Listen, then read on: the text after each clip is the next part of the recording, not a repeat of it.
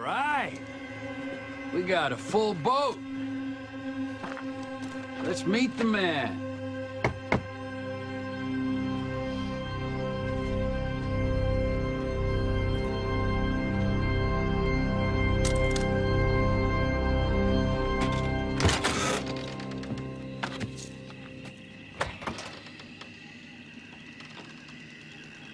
Pissing our pants yet?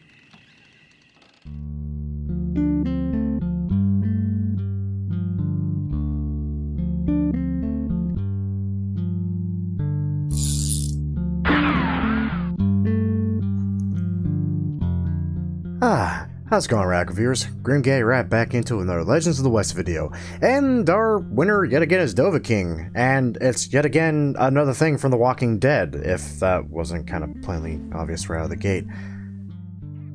Yeah, Dova requested we do Negan from uh, The Walking Dead. Like, literally, the lineup scene, Negan.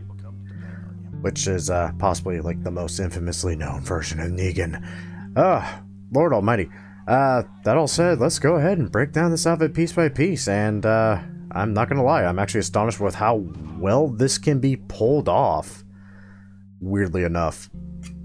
Like, everything, like, matches up, like, just enough to a point. Except the boots. The boots are kind of off. That all said, starting off, no hat with this outfit, no headband, no eyewear, no mask. We are gonna throw a bandana on, however, as the trim bandana, with the coat we choose actually perfectly represents the look we want, like to a scary degree.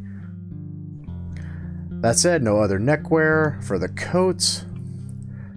The Durham coat in black is is a, a perfect old West representation of Negan's biker jacket. It, it's hilarious how well this works. It's almost dumb how well this works.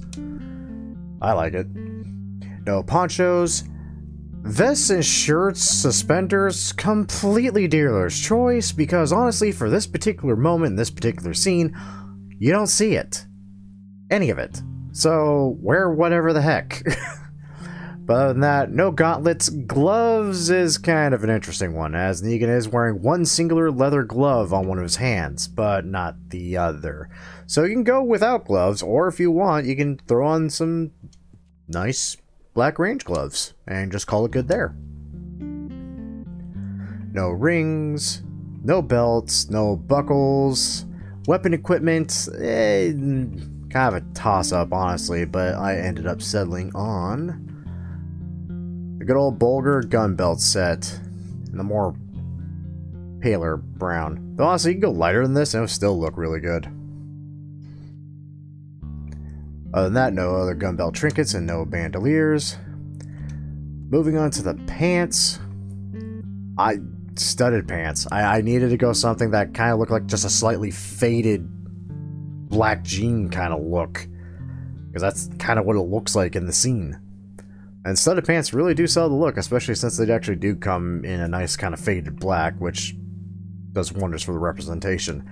That said, honestly, you could get away with just about any darker gray pant if you can really find it. I honestly couldn't find anything in the right shade of gray I was looking for, hence why I settled on this. Beyond that, no nightgowns, no overalls, no chaps. Boots have an interesting thing to them. A grand example, these Kelly boots actually do come in a shade of black, actually do have a strap over the foot itself, and honestly, the steel toe is really the only thing that really throws this stuff off, or I guess that's a more a copper or bronze toe. Either way, these would work, other than the fact they don't go over the pant leg. Other than that, they, they work really well. So if you happen to have the gold and can afford the Kelly boots in black, by all means go for it. If not, however, a nice fallback is the lumber boots, which I'm not sure I've ever used before. If I have, I can't remember.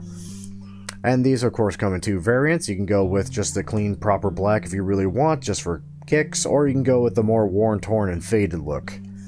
Both kind of work wonders for this outfit, I'm not gonna lie. Finally, no spurs for this outfit, and that's it.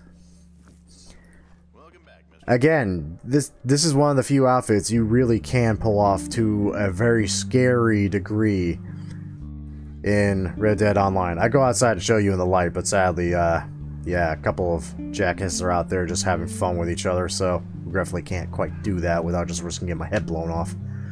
That all said, though, I mean, that's it. And as usual, I hope you all enjoyed. If you all did enjoy, a great way of showing that support, as always, is by liking the video, subscribing to the channel, and of course, sharing with your friends. And checking down below in the description for the guidelines of how to submit your own requests in the comments, where you might be next week's winner. Or be like everybody else that completely misses this little quip and just posts it on one of my D&D videos where I just flat out tell them that's not how this works. Lord almighty. Everything's done on a voting system. No one catches that memo though. Lord almighty. Anyway. Once again though, thank you all for watching, and as usual, cheers to those that love us, the losers that lost us, and as always, the lucky sons of bitches that get to meet us, and we will catch you all in the next video. See you then.